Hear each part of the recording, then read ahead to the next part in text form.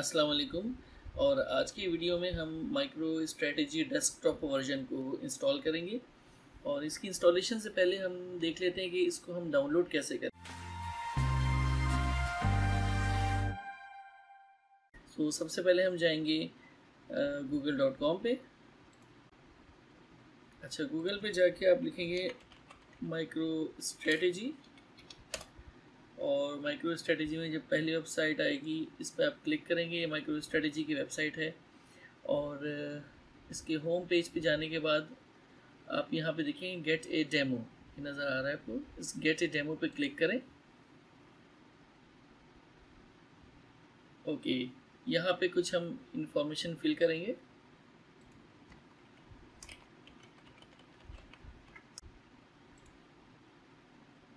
उसके बाद जो है आप इसको रिक्वेस्ट डेमो पे क्लिक करें। सो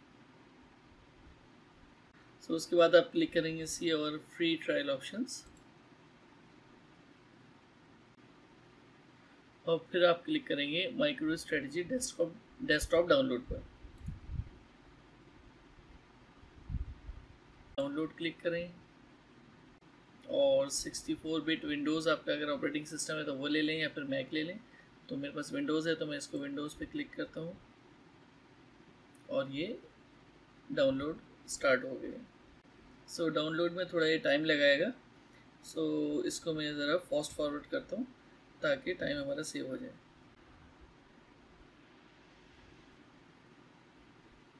तो ये माइक्रो स्ट्रेटजी डेस्कटॉप वर्जन इस वक्त डाउनलोड हो चुके हैं और ये जिप फॉर्मेट में है। सो so, इसको हम जाके अनजिप करते हैं और फिर इसकी इंस्टॉलेशन करेंगे।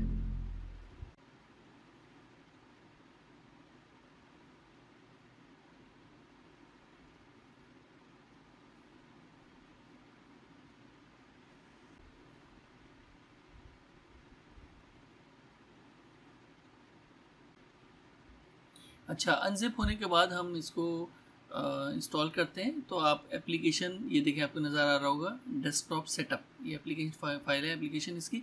सो so, इसको डबल क्लिक करें डेस्कटॉप सेटअप को।